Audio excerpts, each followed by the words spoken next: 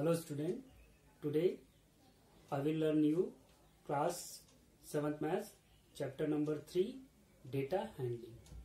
आज स्टूडेंट हम data handling के बारे में जानेंगे। डेटा हैंडलिंग में आपने सबसे पहले स्टूडेंट डेटा के बारे में जानना है कि डेटा क्या होता है। हैंडलिंग मीन्स आपका रिप्रेजेंटेशन से मतलब है। तो डेटा हैंडलिंग में हम स्टडी करेंगे कि आपका मीन मीडियन मोड के बारे में हम स्टडी करेंगे। सबसे पहले हम स्टडी करते हैं डेटा की डेफिनेशन जो है फैक्ट्स और फिगर्स विच आर न्यूमेरिकल और otherwise collected with a definite purpose are called data यानी डेटा आपका क्या हुआ स्टूडेंट जो हमारे फैक्ट्स यानी तथ्य होते हैं, या फिगर्स भी ले लें। फैक्ट्स या फिगर जो होंगे हमारे, अगर वो न्यूमेरिकल होते हैं, और वो जो कलेक्ट किए जाते हैं एक डेफिनेट पर्पज के लिए, डेफिनेट पर्पज मतलब to give some information to give some information यानी जो हम फैक्ट्स और फिगर को न्यूमेरिकल के रूप में कलेक्ट करते हैं, जिससे हमें कोई ना कोई डेफिनेट पर्पज यानी जिससे कोई ना कोई हमें इंफॉर्मेशन मिले या इंफॉर्मेशन के लिए इनको आप डेटा कहेंगे। तो डेटा क्या है? फैक्ट्स और फिगर्स का जो न्यूमेरिकल हो और जिससे हम कोई इंफॉर्मेशन दे सके हैं that is called data data can be collected by conducting a survey यानी डेटा को हम जो कंडक्ट करते हैं सर्वे के माध्यम से करते हैं इट मीन्स आप यू समझो कि कोई भी व्यक्ति आपके यहाँ आ सकता है और आपसे क्वेश्चन आंसर पूछ के एक सर्वे कर सकता है और क्वेश्चन आंसर पूछ के एक डेटा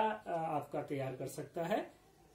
ओके स्टूडेंट डेटा आपके टू टाइप्स के होते हैं। एक कहलाता है आपका प्राइमरी डेटा या रॉ डेटा दूसरा डेटा आपका कहलाता है secondary data primary data means आप जब सर्वे करने वाला व्यक्ति सर्वे करता है सर्वे करता है और सर्वे करके डेटा कलेक्ट करता है, उसका यूज़ खुद ही कर लेता है सेल्फ के लिए यूज़ करता है तो वो डेटा उसके लिए प्राइमरी डेटा होगा स्टूडेंट और सेकेंडरी डेटा में क्या होता है स्टूडेंट जब सर्वे करने वाले ने कोई डेटा कलेक्ट करा और वो डेटा कलेक्ट करने के बाद किसी दूसरे व्यक्ति ने उससे वो डेटा लेके उससे कुछ डेफिनेट पर्पज के लिए यूज़ करा तो उस डेटा को आप सेकेंडरी डेटा कहेंगे।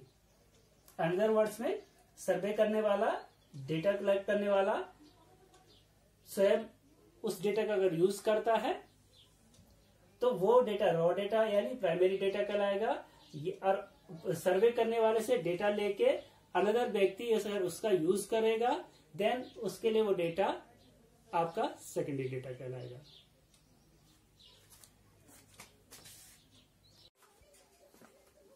नेक्स्ट है स्टूडेंट इसमें डेटा हैंडलिंग में आपका रेंज रेंज क्या कहते हैं?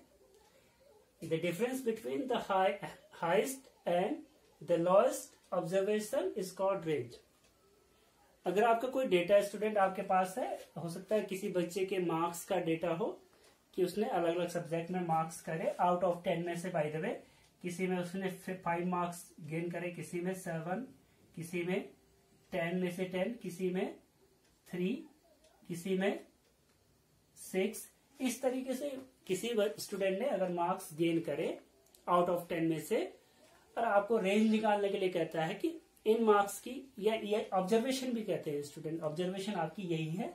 यानी दिस ऑब्जर्वेशन में the difference between the highest and lowest observation highest आप देखोगे हाइस्ट ऑब्जर्वेशन यानी डेटा भी है, इसको डेटा भी या ऑब्जर्वेशन कहेंगे।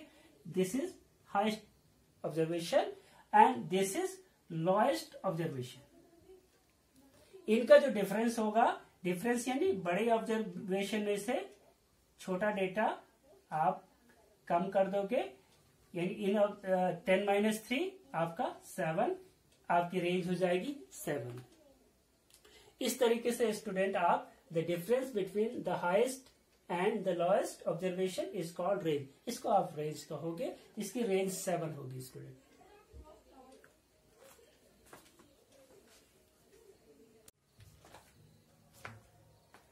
स्टूडेंट डेटा है a tendency to cluster at a centre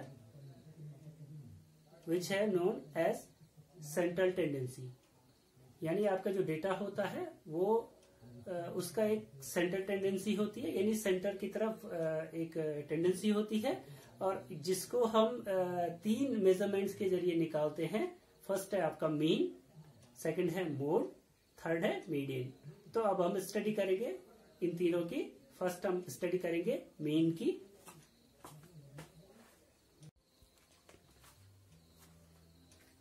student arithmetical mean भी एक centre measurement of centre tendency है। यानी इससे हम सेंट्रल टेंडेंसी मेज़रमेंट कर सकते हैं।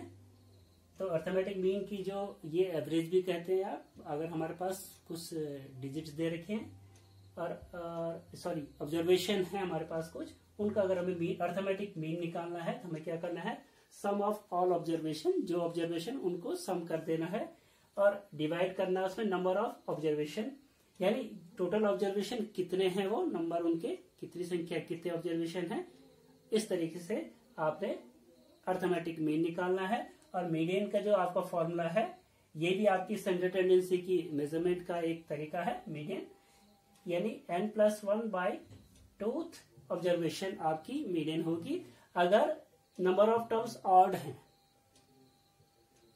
एन आपका ऑड है, यानी आपके ऑड टर्म्स हैं अगर उसमें तो आपका ये फॉर्मूला होगा।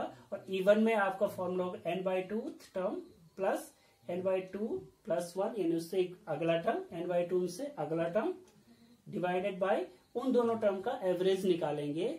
यानी फिर से मीन निकाल लेंगे तो आपका मीडियन निकल आएगा। फॉर एग्ज़ाम्पल आप देख सकते हो, मैं कुछ टर्म्स ले लेता हूँ। Three four five and one ये मैंने कुछ टर्म्स लिए हैं। सबसे पहले स्टूडेंट आपको मेन या मीडियन कुछ भी निकालना है।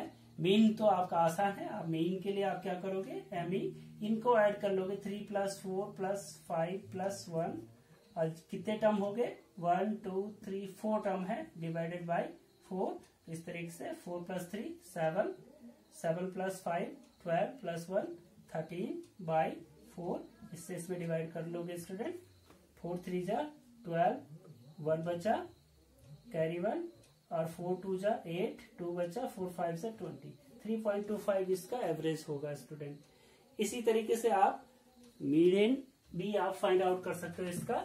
अगर मुझे इसका मीडियन निकालना स्टूडेंट तो फ़र्स्ट आपने क्या करना है स्टूडेंट इसको असेंडिंग ऑर्डर या डिसेंडिंग ऑर्डर में लिखना है। यानी छोटे से बड़े क्रम या बड़े से छोटे क्रम।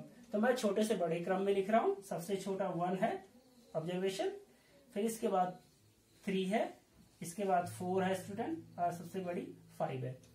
अब मुझे इसमें मीडियन निकालना है, यानी बीच का जो टर्म होगा आप देखोगे वन, टू, थ्री, फोर, ये है चार टर्म है स्टूडेंट यानी even four one two three four यानी ये इवन है तो ये वाला फॉर्मूला आपका लगेगा। तो आपको एक शॉर्ट तरीका बताता हूँ स्टूडेंट मीडियन निकालने का। यानी ये फोर टर्म है, यानी एन कितना है स्टूडेंट फोर तो एन बाई टू हो जाएगा स्टूडेंट टूथ टर्म आपने इसका दूसरा टर्म लेना वन टू दूसरा टर्म है थ्री और प्लस उसके आगे वाला टर्म उसमें ऐड करके डिवाइडेड टू से डिवाइड कर देना है। इस तरीके से आप आसानी से इसका four plus three seven by two two three जा six carry one two five जा टेन इस तरीके से थ्री पॉइंट फाइव आपका इसका मीडियन आएगा। तीसरा स्टूडेंट मोड होता है। इसमें मोड फ्रिक्वेंटिव होता है। जो ज़्यादा बार, जो ऑब्जर्वेशन सबसे ज़्यादा बार रिपीटेड होगी, वो उस डेटा का मोड कहलाएगा स्टूडेंट इस तरीके से आपने मीन मीडियन और मोड के बारे में जाना